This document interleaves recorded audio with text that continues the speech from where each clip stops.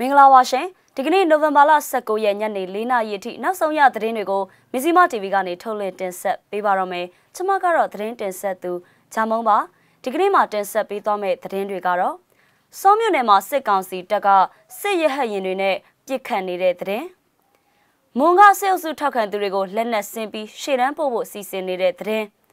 ဒဇယ်မှာစစ်ကောင်စီတပ်ဖွဲ့ဝင်တွေစီးလာတဲ့ကားမိုင်းခွဲခံရတဲ့သတင်းအပါအဝင် နောက်ဆုံးရသတင်းတွေကိုတင်ဆက်ပေးပါမယ်ရှင်။မကွေးတိုင်းဒေသကြီးစောမြို့နယ်ကျင်းလိန်နဲ့တောမရွာမှာစစ်ကောင်စီတပ်ကထိုးစစ်ဆင်တိုက်ခိုက်နေပါတယ်။ဝေဟင်ကနေရဟတ်ရဲနှစ်စီးပစ်ကူပေးပြီးတိုက်ခိုက်နေကြောင်းသိရပါတယ်။မြေပြင်မှာလည်းစစ်ကောင်စီတပ်တွေကို Your Defense Force, PDF SAW, CDF မင်းတပ်နဲ့ CDF ကံပက်လက်ပူးပေါင်းအဖွဲ့တွေကပြန်လည်ခုခံတိုက်ခိုက်နေပြီးတိုက်ပွဲပြင်းထန်လျက်ရှိနေပါတယ်။ဝေဟင်မှာအုံပြုနေတဲ့ရဟတ်ရင်နှစ်စီးအတွက် ကြည်ဖြစ်တင်းတာတွေကိုကြောက်ထုလင်းကွင်းမှာအတက်ဆင်းပြုလုပ်နေတယ်လို့လည်းသိရပါတယ်။ဒီလိုမျိုးစစ်ကောင်စီတပ်ကစစ်ရဟတ်ရင်တွေနဲ့ပြစ်ခတ်နေတာတွေကိုဒေသခံတအုပ်နဲ့မစ္စည်းမကဆက်သွယ်ပြီးမေးမြန်းထားပါတယ်ရှင်။စစ်ကောင်စီဘက်ကနေပြီးတော့ဒီလေနဲ့လာပြီးတယ်ဆိုအဲ့ဒါဘလို့ချင်းနေဖြစ်တာလဲဘယ်ချင်းလောက်ကလဲဗျ။အခုပြည့်နေတာကအခုကကျွန်တော်လေးကိုလေးနဲ့စီးစနေအခုကျွန်တော်တို့ဒီဘက်ပေါ့ဖက်ကနေမှလေရင်စီးပြစ်ပြီးအခုလောလောဆယ်ဒီတော့မရွာရှိပဲမှာရှိတဲ့တောင်ဝုန်းတွေကိုအခုပြည့်နေတာပဲ။ ဟိုကအချိန်ရောဘယ်ချိန်လောက်တည်းကစပြီးတော့ဖြစ်တာလဲဟိုပြောပြပြီးလို့ရမလားဟိုရရရတယ်တနင်္လာလောက်ပါပဲအဲ့ဒီအချိန်လေးတော့ဒီတော့အခုဒါပြည့်နေတော့မယ်12နာရီလောက်ကပေါ့နော်ဟုတ်တယ်ဟုတ်တယ်ဟိုဟာကျင်းလေရတောင်ဘက်တောမရွာအုပ်ဖို့အဲ့ဒီဘက်ဒီမှာဖြစ်တာကြ ဟိုကပြစ်တဲ့အခါမှာရောဘယ်လိုမျိုးတွေတွေ့ရလဲအဲ့ဒီဟိုတို့တွေ့မြင်ရတဲ့ပုံစံမျိုးလည်းပြောပြပေးပါဦးပြစ်တယ်ဘောတော့လောလောဆယ်တော့နေရတော့ဘုံဘုံတိကြီးတွေပဲပြစ်တာမြင်တယ်ဟိုလိုစက်တနာတွေကတော့ဆွဲတာမမြင်ဘူးအဲ့ဒီမှာဟိုကရွာတွေဘက်ကိုပြစ်တာလားဘယ်လိုပုံတောတဲ့ကိုပြစ်တာလားဘယ်လိုပုံစံမျိုးလဲလောလောဆယ်ကဒီဘက်မှာကဟို YDF ကစီးရီးယားပီရီးယားဆိုပြီးတော့စီးရီးယားမင်းတပ်ကစီးရီးယားကမ်ပလက်ကပူပေါင်းပြီးတော့တော့မှလည်းမရှိတယ်အင်အား180လောက်ရှိတယ်ဟိုစက်ကောင်စီတက်တွေကိုတိုက်နေတာဗျရွာတွေကတော့ရွာတွေကတော့ မပြေဘူးကတော့ရဲတွေမှာအဲ့ဒီပြည်နေတော့ဘုဘကတော့တယောက်ဖြစ်တယ်သူကျွန်တော်တို့ကြားတယ်တောထဲမှာတိုက်ပွဲဖြစ်နေတာဟိုဒီပြစ်ကူပေးတဲ့ပုံစံမျိုးပေါ့နော်ဘုံနေကျဲချတာပေါ့လေအင်းကနေပြီးတော့ဟုတ်တယ်ဟုတ်တယ်မွန်ပြည်နယ်ထဲမှာတော့တင်နန်းပေးထားတဲ့စစ်အုပ်စုထောက်ခံတဲ့သူတွေကိုစစ်ယူနီဖောင်းလက်နက်အပြည့်စုံနဲ့ရှေ့တန်းမှာတိုက်ခိုက်ခိုင်းဖို့အတွက်စစ်ကောင်စီကလူဦးရေစရင်ပြုစုနေတယ်လို့တန်လွင်ထမ်းရှေ့သတင်းအရသိရပါဗျ။တိုက်ပွဲပြင်းထန်နေတဲ့နေရာတွေကိုပို့ဆောင်ဖို့အတွက်ပြူစောတီပြည်သူစစ်နဲ့ စစ်အုပ်စုထောက်ခံသူတွေစရင်ကိုစစ်ကောင်စီကနိုဝင်ဘာလဒုတိယပတ်ကစပြီးလူဦးရေစရင်တောင်းခံလာတာပါ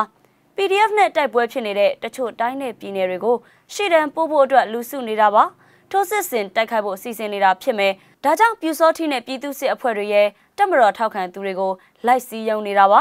ယူနီဖောင်းစစ်လက်နက်ပစ္စည်းအစုံလင်ပေးမယ်ပြီးရင်စစ်သားတွေနဲ့အတူရှေ့တန်းထွက်တိုက်ရမယ် လစာလည်းပေးမယ်လို့ပြောတယ်ဆိုပြီးစစ်တပ်နဲ့နှိစက်သူတဦးကပြောပြပါရယ်တင်နန်းပေးထားတဲ့စေအုပ်စုထောက်ခံသူတွေကိုရှေ့တန်းမှာတာဝန်ထမ်းဆောင်နေချိန်အတွင်း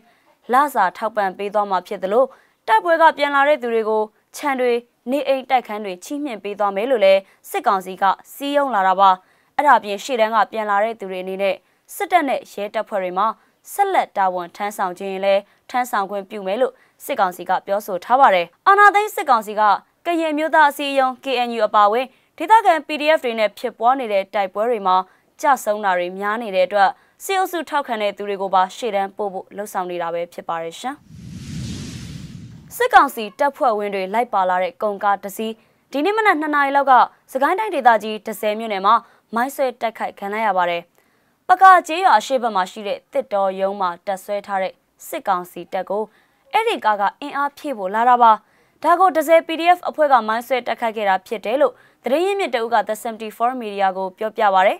စစ်သားတဲလာတဲ့မိုးကအုပ်7ဘိန်းကားကြီးမိုင်းဆွဲခံရတာချောဆွဲလာပုံရတယ်ဘယ်ကားမှအဲ့ဒီအချိန်မဖြတ်ဘူးလို့သူကပြောပြပါရယ်အဲ့ဒီနောက်7ဘိန်းကားပေါ်ကစစ်ကောင်စီတပ်ဖွဲ့ဝင်တွေကအနီးဝန်းကျင်ကိုလက်နက်ကြီးလက်နက်ငယ်တွေနဲ့ပစ်ခတ်ခဲ့ကြောင်းသူကပြောပြပါရယ်ပကာကြီးရွာနာကိုမနေ့ကည6နာရီလောက်မှာ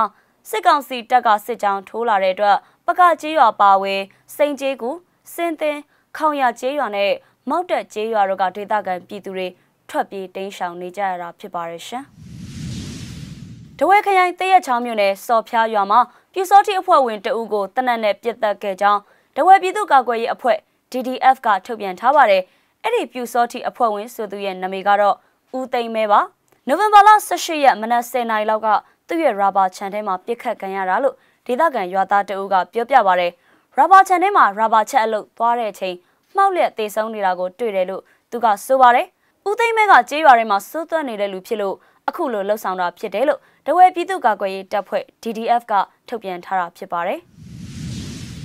မဇီမရဲ့သတင်းတွေကိုနေ့စဉ်စောင့်မျှော်ကြည့်ရှုပေးကြတဲ့အတွက်ကျေးဇူးတင်ပါတယ်ပြည်သူအလုံးလက်ရှိကြုံတွေ့နေရတဲ့အခက်အခဲတွေကနေအမြဲဆုံးလွန်မြောက်ကြပါစေလို့ဆုတောင်းရင်းနဲ့နှုတ်ဆက်ပါရစေရှင်